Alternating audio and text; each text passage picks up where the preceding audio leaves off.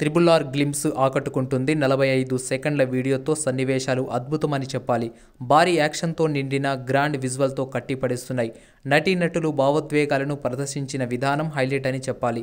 ఇంకా ఈ వీడియోలో కనిపిస్తున్న భారీ సెట్తో పాటు సినిమా కోసం వేలాది మంది జూనియర్ ఆర్టిస్టులను ఉపయోగించడం మరో ఆసక్తికర విషయం.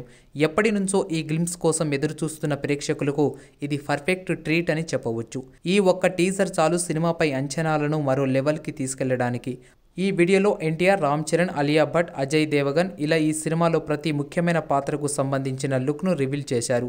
మాటలు లేవు మాట్లాడుకోవటాలు లేవు. ఒక్క డైలాగ్ కూడా లేకుండా సైలెంట్గా కేవలం లుక్స్తోనే మనసులను తాకే భావోద్వేగాలను పలికించారు నటీనటులు. ఎన్టీఆర్ను పులి వెంబడించడం చరణ్ గుర్రం మీద తారక్ బైక్ మీద చేజింగ్ చేస్తుండడం అజయ్ దేవగన్ ఆంగ్లేయులపై తుపాకులు ఎక్కుపెట్టడం వంటివి త్రిబుల్ ఆర్ గ్లిమ్స్లో చూడవచ్చు. అలానే హీరోయిన్గా నటిస్తున్న అలియా భట్ ఒలివా మెరిస్లతో పాటు రాహుల్ రామకృష్ణను ఇందులో భాగం చేశారు. చివర్లో ఎన్టీఆర్ నీటితో రామ్ చరణ్ నిప్పు పట్టుకొని ఫైట్ చూస్తుండడం ఓ సింహం బ్రిటిష్ సైనికుడిపై పంజా విసరడం వంటి విజువల్ స్టన్నింగ్గా ఉన్నాయి. ఈ సినిమా ప్రీ రిలీజ్ ఈవెంట్ని దుబాయ్లో గ్రాండ్గా నిర్వహించాలని ప్లాన్ చేస్తున్నారంట. యూనిట్ సహా సినిమాకు పనిచేసిన కీలక వ్యక్తులందరినీ దుబాయ్కి తీసుకెళ్ళాలని టీమ్ సన్నాహాలు చేస్తుందంట. మరి తెలుగు రాష్ట్రాన్ని వదిలేసి జక్కన్న దుబాయ్ మీద ఎందుకు పడ్డారు అంటే చాలా సంగతులే ఉన్నాయి. అది పాన్ ఇండియా చిత్రంగా తెరకెక్కింది. కానీ దుబాయ్లో ఈ ఈవెంట్ చేస్తే పాన్ వరల్డ్కి రీచ్ అయ్యే ఛాన్స్ ఉంది.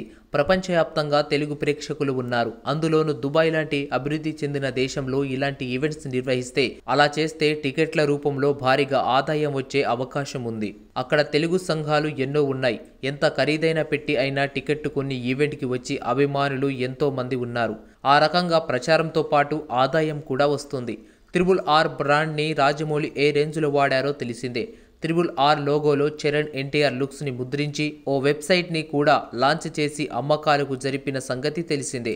ఈ నేపథ్యంలో దుబాయ్లో ఈవెంట్ జరిపితే భారీగా ఆదాయం వస్తుందనే కోణంలో అక్కడ ప్లాన్ చేసినట్లు ప్రచారం సాగుతుంది.